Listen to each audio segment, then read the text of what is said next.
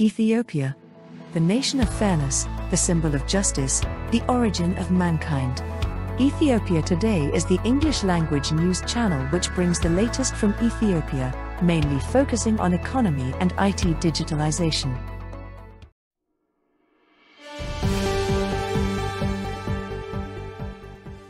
Thanks for stopping by.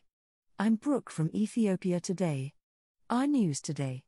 Fostering science and technology considered to be vital to gear up development in Ethiopia, according to the report by the Ethiopian Herald. This is an in depth analysis of the crucial role that science and technology play in the country, and we will be focusing on this and kindly invite you to stay tuned with us. Thanks. Fostering science and technology considered to be vital to gear up development in Ethiopia.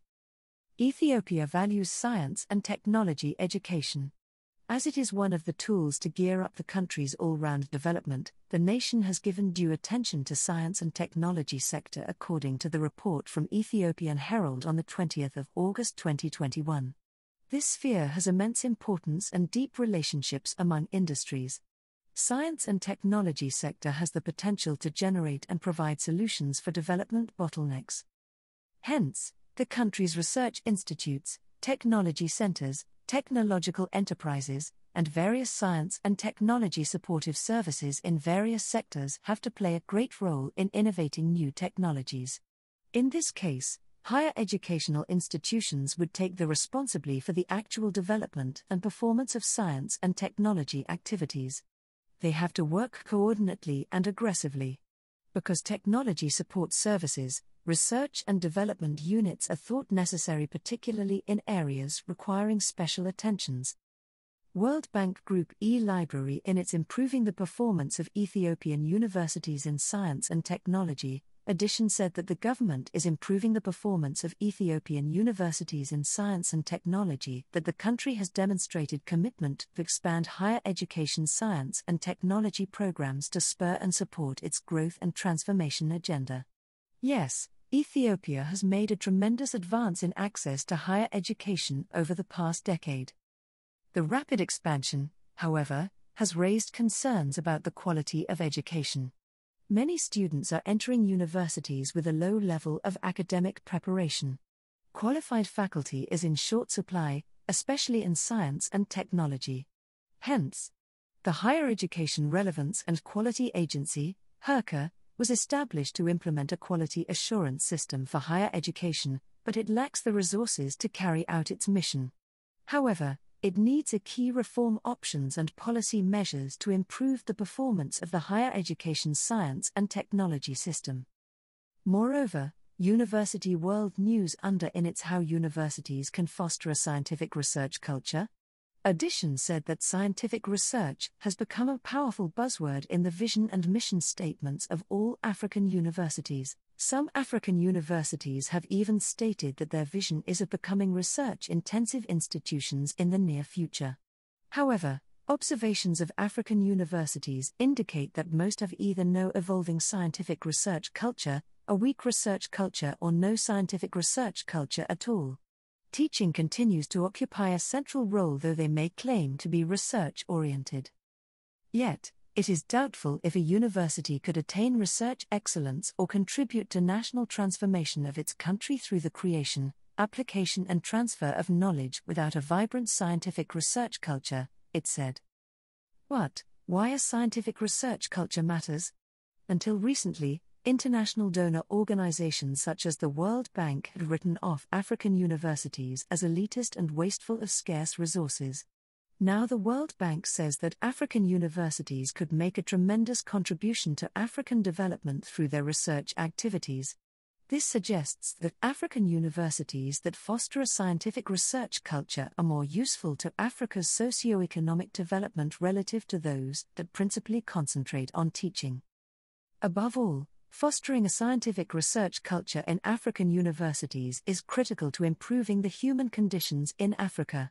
Africa has a colonial history and it continues to be haunted by its colonial past. In light of its colonial history, Africa needs a critical mass of intellectuals and scholars whose primary interest and mindset is the well being of the continent. Developing a scientific research culture is a sure pathway to creating that critical mass of intellectuals and scholars.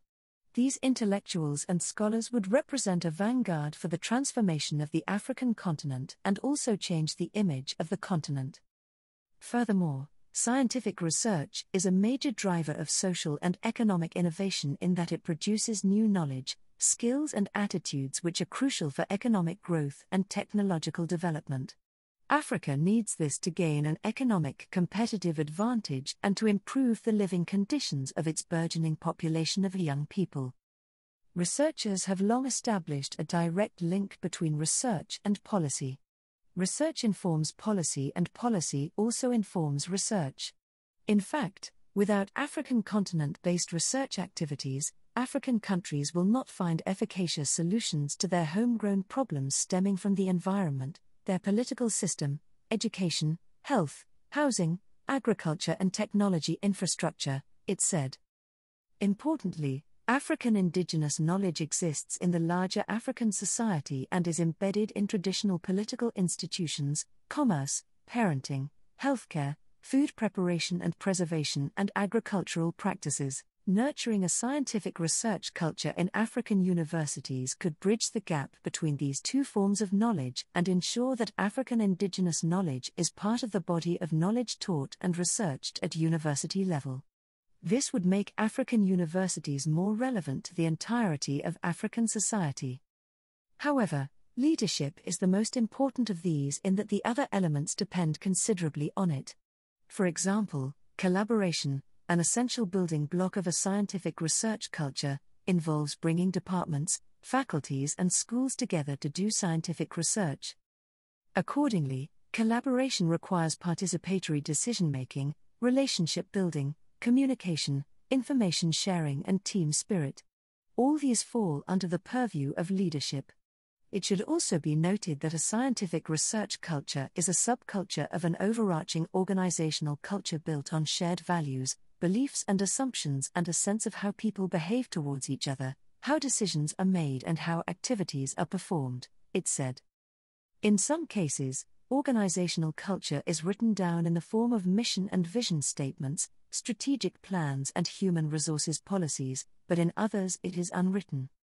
In most African contexts, it is difficult for institutional leaders to promote a scientific research culture if they themselves are not researchers. If they were, institutional leaders could help to sustain the development of a scientific research culture at least in the formative years until such time that research became widely accepted as an institutional norm, value, and belief. The development of research capacity is an indispensable part of research culture, it said. Initiatives such as graduate research conferences, where graduate students can present their own research findings, research symposiums for both students and faculties, and research awards which reward excellence are also important for fostering a scientific research culture in a university. Moreover, promoting a scientific research culture in a university means that students at undergraduate and postgraduate level understand research theories and practices. At the bachelor degree level, students should study the nature of evidence, analyzes that evidence, summarizing articles or book chapters, and practice referencing authors of digital documents, websites, newspapers, magazines, and academic journals via direct and indirect quotes. Equally, they should learn how to formulate a thesis.